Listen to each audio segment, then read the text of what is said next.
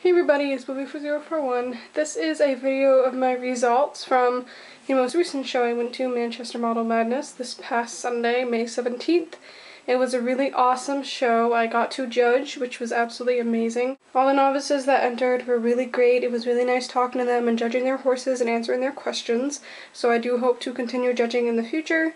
The classes were fairly tough, OF being one of the most tough for me. I only got one NAN card in both OF Stone and OF Breyer, so but I'm still not going to complain. It was a great show with great people, and there were some beautiful models there.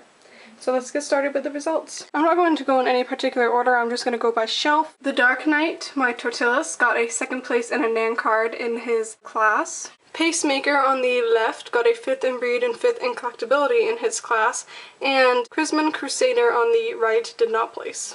Out of these two guys, none of them placed, which was kind of sad, but again, the classes were very large. And out of my two stones, Silver Mist on the left did not place, and Faith on the right got a third in collectability. Supernatural, my Matt Bay Pop Cork, got a fifth place in breed in his class, and Carlisle did not disappoint and he got a third place in collectability in his large pony class. Spring Awakening placed and he got a third place in breed and a third place in collectability in the Stone Morgan class. And this little guy who's over here on the windowsill, this was his first show. His name's Triple Miracle and he did not place. It was a very large class. Out of my four issues, only two placed. That would be this guy, Day Trader, who got a third place in his class, which I was really proud about. And this guy, Oliver Twist, got a sixth place in breed and a judge's choice in collectability. These three models did not place. And my little straighten head weanling, who I call Straight No Chaser, got a sixth place in collectability in his class. Now for the customs and artist resins. These are the divisions that I did the best in. All of my horses that placed either got a first or a second, which is awesome. Only two of my customs did not place, and only one of my artist resins did not place. This beautiful girl, my custom Gigi Valentine by Monica West, got a first place in breed and a second place in workmanship in her class, which was awesome.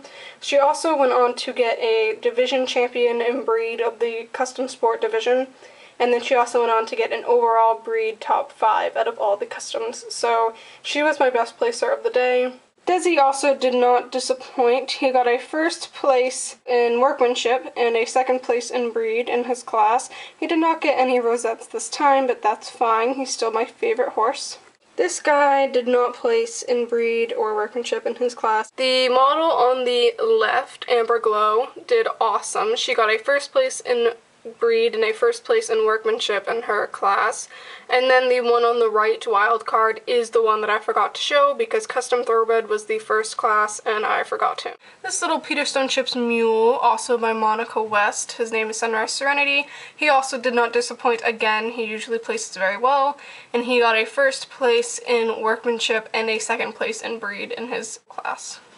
My newest little guy, a custom frolicking foal who I called Metallic Lightning, got a second place in breed and a second place in workmanship in his foal class. Lily got a first place in workmanship and a second place in breed in her class. Everlasting Love got her first NAN cards at this show. She got a second place in breed and a second place in workmanship in her class.